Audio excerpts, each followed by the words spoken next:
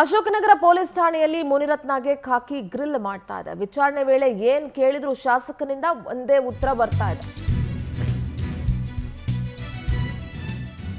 ಯಾರೇ ಆದ್ರೂ ಕೂಡ ಇದನ್ನೇ ಹೇಳೋದು. ಈವನ್ ದರ್ಶನ್ ಕೂಡ ಆರಂಭದಲ್ಲಿ ಕೇಳಿದಾಗ ನನಗೇನು ಗೊತ್ತಿಲ್ಲ ಅಂತಾನೆ ಹೇಳಿದ್ದು. ಮುನಿರತ್ನ ಕೂಡ ಅದೇ ಉತ್ತರವನ್ನ ಕೊಡ್ತಾ ಇದ್ದಾರೆ. ನಂದೇನು ತಪ್ಪಿಲ್ಲ. ನನ್ನ ವಿರುದ್ಧ ಷಡ್ಯಂತ್ರ ಅಂತ ಶಾಸಕ ಹೇಳ್ತಾ ಇದ್ದಾರೆ. ಈಗಾಗಲೇ ಶಾಸಕ ಮುನಿರತ್ನ ವಾಯ್ಸ್ ಅನ್ನ ಎಫ್ ಎಸ್ ಎಲ್ಗೆ ರವಾನಿಸಲಾಗಿದೆ. ಆಡಿಯೋ ವಿಡಿಯೋದಲ್ಲಿನ ವಾಯ್ಸ್ ದೃಢಪಟ್ಟರೆ ಸಂಕಷ್ಟ ಅಂತೂ ಫಿಕ್ಸು.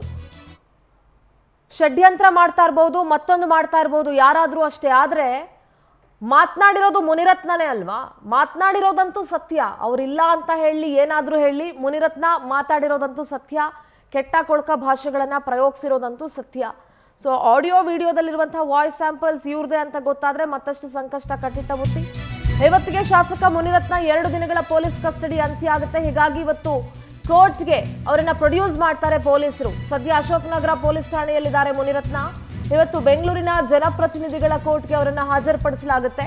ಬಿಜೆಪಿ ಶಾಸಕ ಮುನಿರತ್ನಗೆ ಮತ್ತೆ ಕಸ್ಟಡಿನ ಅಥವಾ ಜೈಲ ಅಂತ ನೋಡಬೇಕು. ಯಾಕೆಂತಂದ್ರೆ ಈಗ ಸದ್ಯ ಅವರನ್ನ ಹೆಟ್ರಾಸಿಟಿ ಪ್ರಕರಣದಲ್ಲಿ ವಶಕ್ಕೆ ಪಡ್ಕೊಂಡಿರೋದು, ಜೀವ ಬೆದರಿಕೆ ಪ್ರಕರಣ ಇನ್ನೂ ಹಾಗೇ ಇದೆ. ಸೊ ಹೀಗಾಗಿ ಮತ್ತೆ ಕಸ್ಟಡಿ ಕೊಡ್ತಾರ ನ್ಯಾಯಾಧೀಶರು ಅಥವಾ ನ್ಯಾಯಾಂಗ ಬಂಧನಕ್ಕೆ ಕಳಿಸ್ತಾರ ಅನ್ನೋದನ್ನ ನೋಡಬೇಕಾಗತ್ತೆ. ಕೋರ್ಟ್ಗೆ ಹಾಜರುಪಡಿಸಿದ ನಂತರ. ನಮ್ಮ ಪ್ರತಿನಿಧಿ ವೆಂಕಟೇಶ್ ನ್ಯೂಸ್ ಡೆಸ್ಕ್ ಇಂದ ನೇರ ಸಂಪರ್ಕದಲ್ಲಿ ಜಾಯ್ನ್ ಆಗ್ತಾ ಇದ್ದಾರೆ. ವೆಂಕಟೇಶ್, ಸದ್ಯ ಮುನಿರತ್ನ ಅಶೋಕನಗರ ಪೊಲೀಸ್ ಸ್ಟೇಷನ್ ಅಲ್ಲಿ ಇದ್ದಾರೆ ಕಾಕಿ, ಏನೇ ಉತ್ತರವನ್ನ ಕೇಳಿದ್ರು ಕೂಡ ಮುನಿರತ್ನ ಯಾವುದೇ ಪ್ರ- ಪ್ರಶ್ನೆಗೂ ಕೂಡ ನನಗೇನು ಗೊತ್ತಿಲ್ಲ, ನಂದೇನು ತಪ್ಪಿಲ್ಲ ಅನ್ನುವಂಥ ಮಾತನ್ನ ಮಾತ್ರ ಹೇಳ್ತಾ ಇದ್ದಾರೆ. ಸದ್ಯದ ಅಪ್ಡೇಟ್ಸ್ ಏನ್ ಸಿಗ್ತಾ ಇದೆ. ಸಿಂಧೂರ ಈಗಾಗಲೇ ಏನು ಜೀವ ಬೆದರಿಕೆ ಮತ್ತು ಅಟ್ರಾಸಿಟಿ ಕೇಸ್ಗೆ ಸಂಬಂಧಪಟ್ಟಂತೆ ವಯಾಲಿ ಕಾವಲ್ ಪೊಲೀಸ್ ಠಾಣೆಯಲ್ಲಿ ದಾಖಲಾಗಿದ್ದಂಥ ಎರಡೂ ಪ್ರಕರಣಗಳಿಗೆ ಸಂಬಂಧಪಟ್ಟಂತೆ ಪೊಲೀಸರು ತನಿಖೆಯನ್ನು ಕೂಡ ಚುರುಕುಗೊಳಿಸಿದ್ರು ಏನು, ಆ, ಎರಡು ದಿನಗಳ ಕಾಲ ನಡೆದಂಥ ಒಂದು ತನಿಖೆಯಲ್ಲಿ ಶಾಸಕರಿಂದ ಯಾವುದೇ ರೀತಿಯಾದಂಥ ಒಂದು ಉತ್ತರಗಳು ಬರ್ತಾ ಇಲ್ಲ. ಈ ಪ್ರಕರಣದಲ್ಲಿ ಷಡ್ಯಂತ್ರ ನಡೆದಿದ್ದು ನನ್ನ ವಿರುದ್ಧ ಪಿತೂರಿಯನ್ನು ಮಾಡಲಾಗಿದೆ. ಸೊ, ನನ್ನನ್ನು ಈ ಪ್ರಕರಣದಲ್ಲಿ ಸಿಲುಕಿಸುವಂಥ ಕೆಲಸವನ್ನು ಮಾಡ್ತಾ ಇದ್ದಾರೆ. ಹಾಗಾಗಿ ಇದರಲ್ಲಿ ನಂದೇನು ತಪ್ಪಿಲ್ಲ ಅಂತ ಹೇಳುವ ಉತ್ತರವನ್ನು ಕೂಡ ತನಿಖಾಧಿಕಾರಿಗಳ ಮುಂದೆ ಹೇಳ್ತಾ ಇರುವಂಥದ್ದನ್ನು ಬಿಟ್ಟರೆ ಬೇರೆ ಯಾವುದೇ ರೀತಿಯಾದಂಥ ಉತ್ತರಗಳು ಕೂಡ ಇದುವರೆಗೂ ಕೂಡ ತನಿಖಾಧಿಕಾರಿಗಳಿಗೆ ಸಿಗ್ತಿಲ್ಲ. ಹಾಗಾಗಿ ಆಡಿಯೋ ಆ ಒಂದು ಸ್ಯಾಂಪಲ್ ಅನ್ನು ಕೂಡ ಎಫ್ ಎಸ್ ಎಲ್ ವರದಿಗೆ ಕೂಡ ಕಳಿಸಲಾಗಿದೆ. ಆ ಒಂದು ಎಫ್ ಎಸ್ ಎಲ್ ವರದಿ ಬಂದ ನಂತರ ಮುನಿರತ್ನದ ಆಡಿಯೋ ಅನ್ನೋದು ಕನ್ಫರ್ಮ್ ಆದರೆ ಅವರಿಗೆ ಸಂಕಷ್ಟ ಕಟ್ಟಿಟ್ಟ ಬುತ್ತಿ ಅಂತಲೇ ಹೇಳ್ಬೋದು. ನಿನ್ನೆ ಕೂಡ ಏನು ಎರಡು ದಿನಗಳ ಕಾಲ ಪೊಲೀಸ್ ಕಸ್ಟಡಿಯಲ್ಲಿ ಇದ್ದಂಥ ವೇಳೆಯಲ್ಲಿ ಆರೋಗ್ಯದಲ್ಲಿ ಏರುಪೇರಾಗಿದೆ, ಎದೆ ನೋವಿದೆ, ಆರ್ನಿಯ ಇದೆ. ಹಾಗಾಗಿ ನನಗೆ ಹೃದಯ ಸಂಬಂಧಿ ಕಾಯಿಲೆ ಇರೋದ್ರಿಂದಾಗಿ ಚಿಕಿತ್ಸೆ ಅವಶ್ಯಕತೆ ಇದೆ ಅಂತ ಹೇಳಿ ಕೂಡ ಜಡ್ಜ್ ಮುಂದೆ ಹೇಳ್ಕೊಂಡಿದ್ರು. ಆ ಸಂದರ್ಭದಲ್ಲಿ ಕೂಡ ಅವರಿಗೆ ಚಿಕಿತ್ಸೆ ಕೊಡಿಸೋದಕ್ಕೂ ಕೂಡ ಸೂಚನೆಯನ್ನು ಕೊಟ್ಟಿದ್ರು. ನಿನ್ನೆ ಏನು, ಎದೆ ನೋವು ಕಾಣಿಸ್ಕೊಂಡಿದೆ ಅಂತ ಹೇಳಿ ಪೊಲೀಸ್ ಠಾಣೆಯಿಂದ ಕೂಡ ಬೌರಿಂಗ್ ಆಸ್ಪತ್ರೆಗೆ ಒಂದು ರೊಟೀನ್ ಚೆಕಪ್ಗೆ ಹೋದ ನಂತರ ಅಲ್ಲಿಂದ ಜಯದೇವ ಆಸ್ಪತ್ರೆಗೆ ಕರ್ಕೊಂಡೋಗಿ ಇ ಸಿ ಜಿ ಸೇರಿದಂತೆ ವಿವಿಧ ಚಿಕೆ ಒಂದು ಟೆಸ್ಟ್ಗಳನ್ನು ಕೂಡ ಮಾಡಿದ ಸಂದರ್ಭದಲ್ಲಿ ನಾರ್ಮಲ್ ಅಂತ ಹೇಳಿ ಬಂದಿರುವಂಥದ್ದು, ಅವ್ರನ್ನ ಮತ್ತೆ ಪುನಃ ಠಾಣೆಗೆ ಕರ್ಕೊಂಡು ಬಂದು ಒಂದು ಟ್ರೀಟ್ಮೆಂಟನ್ನು ನಂತರ ಒಂದು ಚಿಕಿತ್ಸೆಯನ್ನು ಕೊಟ್ಟರು. ಅದಾದ ನಂತರ ವಿಚಾರಣೆಯನ್ನು ಮಾಡಿದ್ರು. ಇದರಲ್ಲಿ ಯಾವುದೇ ರೀತಿಯಾದಂಥ ಮತ್ತೆ ಅವರಿಂದ ಉತ್ತರ ಬರ್ತಾ ಇಲ್ಲ. ಇವತ್ತು ನ್ಯಾಯಾಧೀಶರ ಮುಂದೆ ಹಾಜರನ್ನು ಪಡಿಸಿ ಮತ್ತೆ ವಿಚಾರಣೆ ಅವಶ್ಯಕತೆ ಇದೆ ಅಂತ ಹೇಳಿ ಕಸ್ಟಡಿಗೆ ಕೇಳುವ ಸಾಧ್ಯತೆ ಇದೆ. ಆದರೆ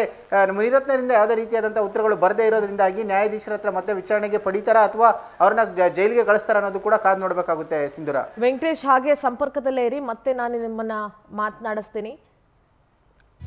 ಆರ್ ನಗರ ಶಾಸಕ ಮುನಿರತ್ನಗೆ ಮತ್ತಷ್ಟು ಸಂಕಷ್ಟ ಎದುರಾಗೋದ್ರಲ್ಲಿ ಯಾವುದೇ ಅನುಮಾನ ಇಲ್ಲ. ಯಾಕಂತಂದ್ರೆ ಜೀವ ಬೆದರಿಕೆ ಕೇಸ್ನಲ್ಲಿ ಇವತ್ತು ಮತ್ತೆ ಅವರನ್ನ ಅರೆಸ್ಟ್ ಮಾಡುವ ಸಾಧ್ಯತೆ ಇದೆ. ಎರಡು ಪ್ರಕರಣಗಳು ದಾಖಲಾಗಿದ್ದು, ಒಂದು ಜಾತಿ ನಿಂದನೆ ಇನ್ನೊಂದು ಜೀವ ಬೆದರಿಕೆ. ಸದ್ಯ ಜಾತಿ ನಿಂದನೆ ಪ್ರಕರಣದಲ್ಲಿ ಅರೆಸ್ಟ್ ಆಗಿದ್ದಾರೆ.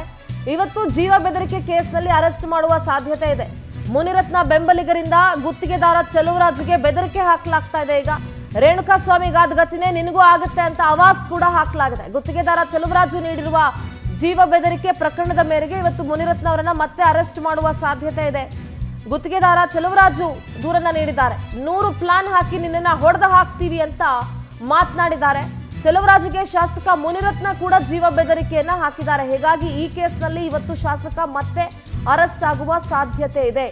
ನೋಡಿ, ಎರಡು ಪ್ರಕರಣಗಳು ದಾಖಲಾಗಿದ್ದು, ಪ್ರತ್ಯೇಕ ಪ್ರಕರಣಗಳು ಎರಡು ಎಫ್ಐಆರ್ ಆಗಿದ್ದು, ಒಂದು ಲೈಫ್ ಥ್ರೆಟ್ ಜೀವ ಬೆದರಿಕೆ ಇನ್ನೊಂದು ಜಾತಿ ನಿಂದನೆ ಪ್ರಕರಣ. ನಮ್ಮ ಪ್ರತಿನಿಧಿ ವೆಂಕಟೇಶ್ ಮತ್ತೆ ನೇರ ಸಂಪರ್ಕದಲ್ಲಿ ಜಾಯ್ನ್ ಆಗ್ತಾ ಇದ್ದಾರೆ.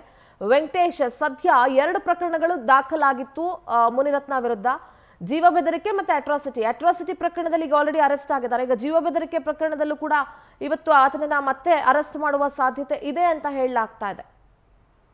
ಎಸ್ ಸಿಂಧೂರ ಈ ಪ್ರಕರಣಕ್ಕೆ ಸಂಬಂಧಪಟ್ಟಂತೆ ಏನು ಒಂದು ಸ್ಟೇಟ್ಮೆಂಟನ್ನು ಕೂಡ ಕೊಟ್ಟಿದ್ರು. ಅಂದರೆ ಆಡಿಯೋದಲ್ಲಿ ಕೂಡ ಹೇಳಿದರು, ರೇಣುಕಾ ಸ್ವಾಮಿಯನ್ನು ಹೊಡೆದ ರೀತಿಯಲ್ಲೇ ನಿನ್ನನ್ನು ಕೂಡ ಕೊಂದಾಕ್ತೀವಿ ಅಂತ ಹೇಳಿ ಈ ಒಂದು ಪ್ರಕರಣದಲ್ಲಿ ನಿನ್ನನ್ನು ಕೊ, ರೇಣುಕಾ ಸ್ವಾಮಿಯನ್ನು ಕೊಂದವ್ರು ಯಾರು ಗೊತ್ತೇನೋ ನಿನಗೆ ಅನ್ನುವಂತಹ ರೀತಿಯಲ್ಲಿ ಕೂಡ ಮಾತಾಡಿದರು.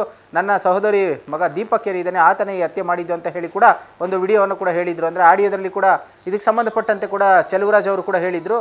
ಈಗಾಗಲೇ ಪ್ರಕರಣ ಕೂಡ ಎರಡೂ ಕೂಡ ದಾಖಲಾಗಿರುವಂಥದ್ದು ಒಂದು ಪ್ರಕರಣದಲ್ಲಿ ಅವರನ್ನು ಮುನಿರತ್ನವನ್ನು ವಶಕ್ಕೆ ಪಡೆದು ವಿಚಾರಣೆಯನ್ನು ಮಾಡ್ತಾ ಮತ್ತೊಂದು ಜೀವ ಬೆದರಿಕೆ ಪ್ರಕರಣಕ್ಕೆ ಸಂಬಂಧಪಟ್ಟಂತೆ ಕೂಡ ಅವ್ರನ್ನ ಮತ್ತೆ ವಶಕ್ಕೆ ಪಡೆಯುವ ಸಾಧ್ಯತೆ ಇರುವಂಥದ್ದು ಅಂದರೆ ಈಗಾಗಲೇ ಪೊಲೀಸ್ ಕಸ್ಟಡಿಯಲ್ಲಿ ಇರೋದ್ರಿಂದಾಗಿ ನ್ಯಾಯಾಧೀಶರ ಮುಂದೆ ಆಚರಣೆ ಪಡಿಸಲಾಗುತ್ತೆ. ಅದನಂತರ ಏನೋ ಅವ್ರನ್ನ ಒಂದು ವೇಳೆ ಏನಾದರೂ ಜೈಲಿಗೆ ಕಳಿಸುವಂಥ ಸಂದರ್ಭ ಬಂದರೆ ಅವ್ರನ್ನ ಮತ್ತೆ ಈ ಪ್ರಕರಣಕ್ಕೆ ಸಂಬಂಧಪಟ್ಟಂತೆ ತನಿಖೆಗೆ ಅವಶ್ಯಕತೆ ಇದೆ ಅಂತ ಹೇಳಿ ಅವರನ್ನು ಕೂಡ ವಶಕ್ಕೆ ಪಡಿಬೋದು.